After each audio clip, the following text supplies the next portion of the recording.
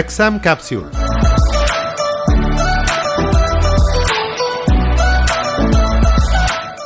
P S C നടത്തുന്ന forensic scientific officer പരീക്ഷ biology physics chemistry documents എന്നീ വിഭാഗങ്ങളിലായാണ് നടക്കുന്നത്. ഇതിൽ സയന്റിഫിക് ഓഫീസർ ഫിസിക്സ് വിഭാഗത്തിലെ ചോദ്യങ്ങളെ എങ്ങനെ നേരിടാമെന്ന് വിവരിക്കുന്നു.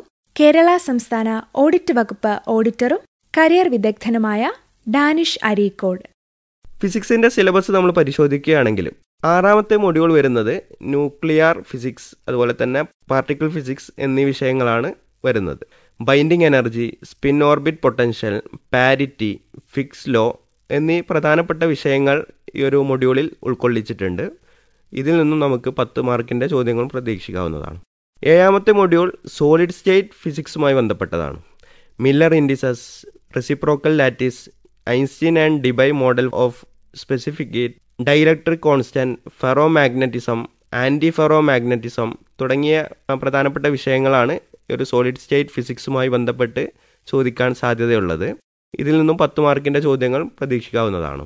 എട്ടാമത്തെ മൊഡ്യൂളിൽ വരുന്നത് അറ്റോമിക് സ്പെക്ട്രോസ്കോപ്പി അതുപോലെ തന്നെ മോളിക്കുലാർ സ്പെക്ട്രോസ്കോപ്പി രാമൻ സ്പെക്ട്രോസ്കോപ്പി തുടങ്ങിയ പ്രധാനപ്പെട്ട സ്പെക്ട്രോസ്കോപ്പിയുമായി ബന്ധപ്പെട്ട ചോദ്യങ്ങളായിരിക്കും ഈ ഒരു മൊഡ്യൂളിൽ നിന്നും വരിക.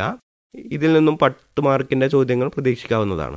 അതുപോലെ തന്നെ ഒമ്പതാമത്തെ മൊഡ്യൂൾ മൈക്രോ പ്രോസസ്സറുമായി ബന്ധപ്പെട്ടതാണ് നമുക്കറിയാം മൈക്രോ പ്രോസസ്സറൊക്കെ നമ്മുടെ ഇന്നത്തെ കാലത്ത് പല ഇലക്ട്രോണിക്സ് ഡിവൈസുകളിലും ഉപയോഗിക്കുന്നുണ്ട്. അപ്പോൾ അതിന്റെ പ്രവർത്തനങ്ങൾ ആപ്ലിക്കേഷൻ അതുപോലെ തന്നെ ഇന്ന് ഉപയോഗിക്കുന്ന വിവിധ മൈക്രോ പ്രോസസ്സറുകൾ ഇതുമായി ബന്ധപ്പെട്ട ചോദ്യങ്ങളായിരിക്കും ഈ ഒരു മൊഡ്യൂളിൽ നിന്ന് ഉണ്ടാവുക. ഇതിൽ നിന്നും പത്ത് മാർക്കിന്റെ ചോദ്യങ്ങൾ പ്രതീക്ഷിക്കാവുന്നതാണ്. ഏറ്റവും അവസാനത്തെ മൊഡ്യൂൾ ആയിട്ടുള്ളത് ലേസേഴ്സ് അതുപോലെ തന്നെ ഫൈബർ ഒപ്റ്റിക്സുമായി ബന്ധപ്പെട്ടതാണ്.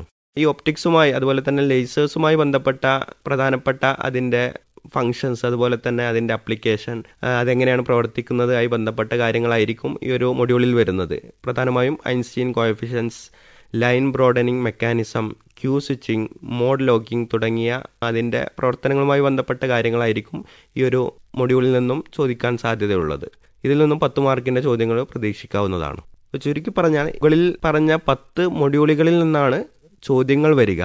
സയന്റിഫിക് ഓഫീസർ ഫിസിക്സ് എഴുതുന്നവരുടെ ഒരു പ്രധാനപ്പെട്ട ഒരു അഡ്വാന്റേജ് എന്ന് പറഞ്ഞാൽ ഇതേ സിലബസ് തന്നെയാണ് സയന്റിഫിക് ഓഫീസർ ഡോക്യുമെന്റ്സ് എന്ന പരീക്ഷയ്ക്കും വരുന്നത്.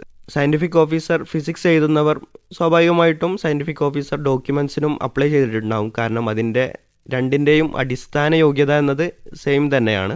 അതുകൊണ്ട് ഈ ഒരു പരീക്ഷയ്ക്ക് പഠിച്ചാൽ നമുക്ക് സയന്റിഫിക് ഓഫീസർ ഡോക്യുമെന്റ്സ് എന്ന പരീക്ഷയ്ക്കും അതിന്റെ ഒരു ഗുണം ലഭിക്കുമെന്നതാണ് പ്രധാനപ്പെട്ട ഒരു സംഗതി. ഫോറൻസിക് സയന്റിഫിക് ഓഫീസർ ഫിസിക്സ് പരീക്ഷ ചോദ്യങ്ങൾക്കായി എങ്ങനെ തയ്യാറെടുക്കാം എന്ന് വിശദമാക്കിയത് കരിയർ വിദഗ്ധൻ Danish Areekode forensic scientific officer documents പരീക്ഷയ്ക്ക് തയ്യാറെടുക്കുന്നവർ അറിയേണ്ട പൊതുവായ കാര്യങ്ങളെക്കുറിച്ച് നാളത്തെ എക്സാം ക്യാപ്സ്യൂളിൽ കേൾക്കാം.